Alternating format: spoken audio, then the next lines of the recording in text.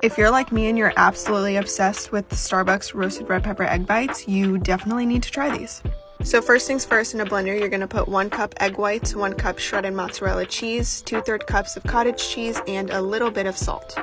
Screw that cap on and then blend it for about 30 seconds. Now you're gonna boil four cups of water. You could do this on the stove or in the microwave. I just do it in the microwave because it's quicker.